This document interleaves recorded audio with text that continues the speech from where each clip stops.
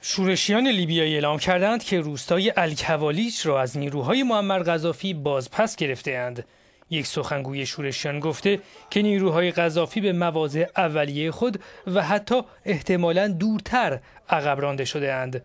آنها امیدوارند که از این روستا که در 100 کیلومتری جنوب ترابلوس واقع شده راهی را برای ورود به پایتخت لیبی باز کنند. همچنین در درگیری هایی که در مصراته و در شهر کلیدی السبعه روی داده حدود 13 تن از شورشیان کشته و 50 تن دیگر نیز زخمی شدهاند.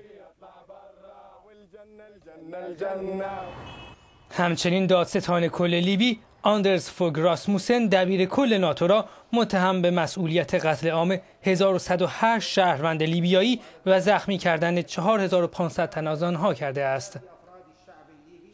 همچنین در سفر سیگل لاوروف وزیر امور خارجه روسیه به آمریکا مقامات آمریکایی گفتند که آمادهاند تو از میانجیگری مسکو در زمینه انتقال دموکراتیک قدرت در لیبی حمایت کنند.